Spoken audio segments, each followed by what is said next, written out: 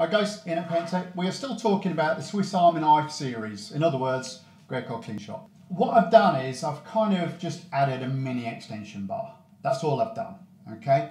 So if you imagine that the, the guard was back here, nothing's really changed. I've added like a, a two and a half extension. I've, I've dialed it all the way out, okay? So I'm not using it as a anti-spit device. I'm just using it as a Swiss Army knife. Okay, the reason being is when we're doing kitchens, we get obviously uh, situations like this, like bookcases, uh, shelving units, etc. Trying to get into a carcass is usually quite difficult.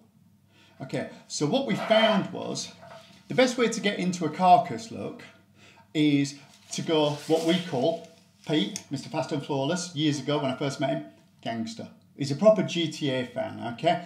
He goes gangster style. So what we do is we take the gun, and we go this way, allowing us better access. So normally we would go into a bookcase, okay, like so. Okay, so we'd have to do this. Okay, that's fine, but it does get a little bit awkward. What we found was, we turn this angle, we turn it that way, and now what we've got is, the reason I've got this little angle is because I always want to get into these awkward corners. I always find those to be probably the most troublesome part of doing, let's say, a bookcase like this. Now what we've got is, firstly, we've got better reach. And as you can see, now, the outcome is just like 100 times better.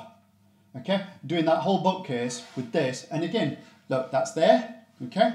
And then I've got that. So if I wanted to do this, I can do that. If I wanted to do this, I could do it. It's just something we talk about a lot on the kitchen and furniture course. Okay, we don't spray anything like this without one of these. Even to a point where if we hadn't got one, we'd probably go home because it's just it's just a nightmare. Seriously, the Swiss Army knife as this element to do lights of bookcases, etc. Complete and utter game changer. Seriously. There you go. Top tip.